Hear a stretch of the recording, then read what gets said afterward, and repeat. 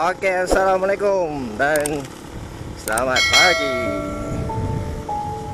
Okey, hari ini saya nak sambung cerita uh, Gunung Nuang tu. Tapi ini cerita mistik pula. Malam ni cerita pengalaman tapi ini cerita mistik. Okey. So, ni ada satu cerita ni. Mana? Saya tak tahulah cerita ni betul ke tak mulanya. Tapi bila dia cerita saya tak adalah kata tak percaya tak adalah kita ah tipu lah tu semua. Ah, tak adalah cakap macam tu. Kita cuma bila dia cerita macam tu kita jadikan ah, pengajaran. Kita jadikan pengajaran supaya ah, kita tak buat benda yang sama bila kita masuk. Camp Nolo ni memang tempat dia sangat keras. Kan? Ah, ada yang menasib baik jumpa. Tak baik tak jumpa. Camp Nolo ni ada ah, dua sungai bertemu satu. Ah, dua sungai bertemu satu ni biasanya memang tempat mandi memang tempat uh, jin ni lah. Jin ni biasa duduk kat tempat uh, uh, apa? Daripada uh, sungai tempat lain. Daripada dua dua arah sungai berlainan bertemu jadi satu. Uh, so kalau sungai yang macam tu biasanya memang ada ada penghuni lah kat situ.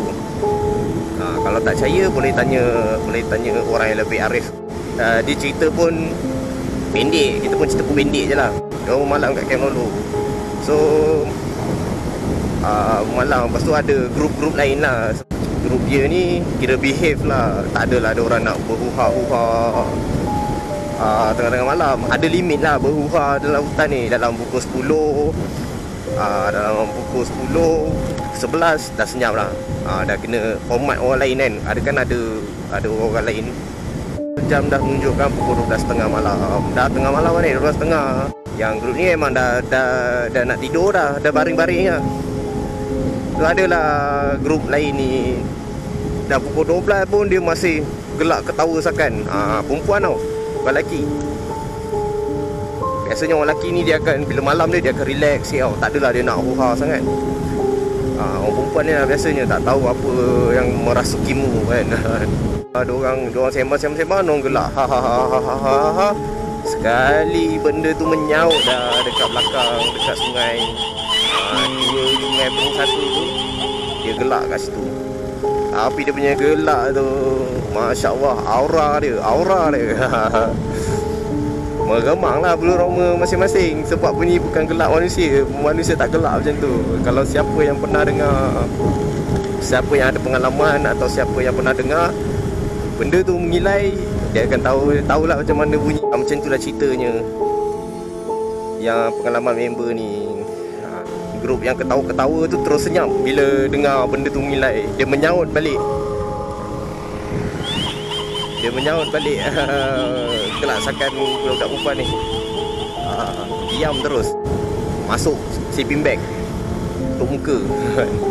Sampailah ke esok paginya dia tidur saya tak kata saya tak percaya sebab uh, saya pun dah banyak kali naik gunung luang ni tapi alhamdulillah tak pernah jumpa, tak pernah kena kacau.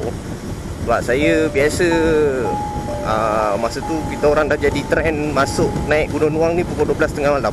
Pukul 12, 12.30 kita orang jalan masuk sampai puncak pukul uh, subuh. Lepas subuh turun pukul 12 sampai bawah.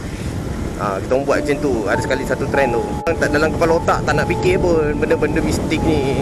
Kita orang fikir benda yang paling utama kita orang kena fikir bila masuk dalam hutan binatang buas. Ha, takut tersempak pak belang ke ha, ular ke kan? Apa-apa sahaja yang boleh mengancam nyawa tu lah kita kena ha, elakkan daripada bertemu. Tahun 2015 15 kot. So saya ada buat satu trip lagi kita orang masuk malam satu uh, masuk malam. Kita orang masuk malam pukul 9 lebih. Uh, kita orang naik. Naik naik naik naik. Uh, budak ni cakap dia penat dia nak dia nak rehat. So kat atas tu ada wakaf. Dia ada lima wakaf dalam tu. Atas tu macam pondok-pondok kecil kan. Lepas jalan beberapa kilometer jumpa wakaf. So rehat lah kat wakaf satu tu saya baru duduk aja dia dah. Jom jalan. Eh kenapa lah nak jalan? Cakap kenapa pula nak jalan ni kan? Baru, baru tadi kata penat nak duduk. Uh, Lepas tu dia kata tak ada dah dah dah, dah hilang penat. Dia kata macam tu kan? Ha, tu jalan lah. Jalan jalan jalan, jalan. dia jalan rapat tau. Sebelum ni jalan macam jauh, ada gap ni tak dia jalan rapat aja.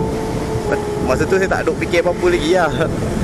Saya tak tak duk fikir kita jalan jalan jalan jalan. Lepas tu jumpa kawasan uh, kawasan buluh so dekat pokok buluh tu saya dengar bunyi macam daun daun belaga tau. Macam ada macam ada something lah dekat situ. So saya suluh lah. Saya suluh. Tengok tak ada apa kan. Sebab saya risau binatang. Babi ke kan. Lepas tu saya cakap binatang ke kan? Lepas tu masa tu memang dah standby lah. Parang memang ada lah. Saya suluh. Lepas tu tengok uh, tak ada apa kan. So jalan macam biasa.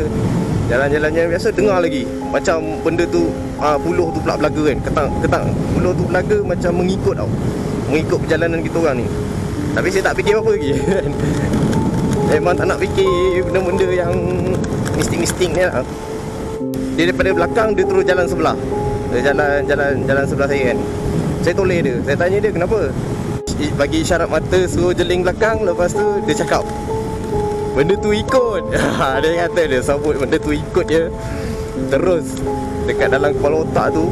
Yang selama ni kita macam simpan tak nak pun fikir benda-benda hantu ni ke apa kan. Benda tu macam pecah Puh, terus keluar. Terus macam macam-macam muka hantu kita boleh terbayang kan. Ha. macam-macam muka hantu kita macam duk dah terbayang kat dalam kepala kan. Apa benda belakang aku ni pocong ke pontianak ke kan ha, masa tu dah dah darah pun berderau lah masa tu kan Ah, aku cakap, Allah Akbar, kenapa dia bagi tahu kan? Masa tu kita orang betul-betul kat tengah-tengah trek. Tengah-tengah trek balak ni. Nak ke Camp Lolo jauh, nak ke nak patah balik pun jauh. Kan? Tapi nak tak nak kita kena teruskan perjalanan sebab member ada dah kat atas. Masa perjalanan tu kita orang jangan laju tapi terasa jauhnya jalan tu. Cakap bila nak sampai ni, bila nak sampai ni kan. Sebab budak tu asyik lah tanya, asyik lah cakap. Dia ada kat depan, dia ada kat depan. Dan Setiap kali jumpa wakaf aja dia cakap Bang dia ada kat situ bang. Dia ada kat sebelah wakaf tu bang. Dia berdiri. Aduh Kita tak nampak Kan? Kita memang tak nampak. Tapi uh, Budak tu nampak. Dia nampak dia bagi tahu. Dia nampak dia bagi tahu. Cakap jangan bagi tahu. Senyap je Sampailah dekat Camp Lolo Sampai Camp Lolo ah, Kat situ saya pesan dengan dia Jangan bagi tahu orang lain. Kalau nampak senyap dia kata. Saya cakap dengan dia macam tu lah. Kalau nampak senyap. Jangan bagi orang lain. Jangan bagi orang lain takut. Uh, diam je. Eh, nak cerita esok pagi ke esok nak dah balik ke pun nak cerita cerita lah cakap. Kan dalam hutan jangan jangan buat pasal. Uh, masa tu saya tanya dia juga. Saya tanya dia apa benda uh, saya tanya dia apa yang kau nampak? Dia kata dia kata kat sini banyak apa so dia kata lah benda tu tak tak nampak muka. Muka dia macam kabur. Ha, lepas tu rambut dia panjang madung putih. Dia diri tegak je dia kata kan. Dia tak kacau tapi dia berdiri je lah dia, tak, dia kata dia tak tahu benda tu ikut ataupun memang ada benda-benda lain. Sebab dia kata setiap kali lalu dekat wakaf benda tu ada ha, dia tak tahu benda yang sama atau benda tu ngikut ha, tapi masa yang mula-mula tu je dia kata benda tu ngikut daripada uh, daripada buluh. Ha, Dia tanya saya balik Masa kat buluh tu ada dengar tak bunyi pokok buluh belaga? Saya cakap ada dengar.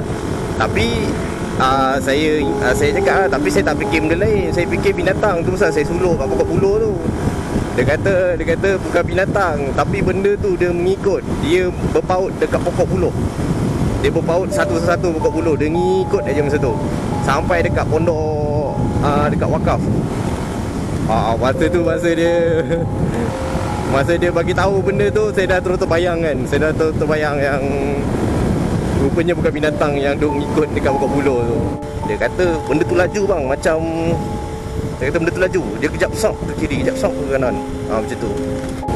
Ha, So itu lah pengalaman saya paling Paling-paling Apa? Paling scary lah kot dalam ni. Sebab selama ni saya naik Gunung Muang kadang naik berdua kadang naik seorang. Tapi seorang tu siang lah. Ada pun nak ada fikir hantu-hantu ni. Tapi bila lepas kejadian tu memang saya tak berani lah masuk malam dia jadi lain tau. Uh, start lepas first kejadian tu saya pergi gunung lain mesti saya ada ada pengalaman kes-kes lain lah. Ada yang kena histeria kan? Uh, ada yang kena histeria masa balik trip. Uh, itu pun paling scary macam sekarang ni dah lama tutup setahun lebih tutup kan. Uh, saya tak tahu lah bila dah buka nanti mesti banyak cerita kot. Sebab benda dah lama tak masuk. Dah lama orang tak ada. Kali bila kalau orang masuk tak lah. Orang malam. Tunggu je lah nanti cerita-cerita terbaru orang update dekat Facebook. Apa yang saya cerita ni uh, korang jangan salah faham. Saya bukan nak menakut-nakutkan orang nak nakut-nakutkan supaya yang baru nak naik Gunung Nuang ke uh, yang baru nak mencuba ke saya bukan nak nakutkan tapi saya cerita atas dasar pengalaman. So kalau korang yang dengar cerita ni uh, apa? Uh, tak perlu takut tapi beringat uh, kena beringat kalau kita masuk hutan kita jangan fikir yang kita hanya kita saja. Tak ada benda lain yang tak ada penghuni tempat uh, dekat situ.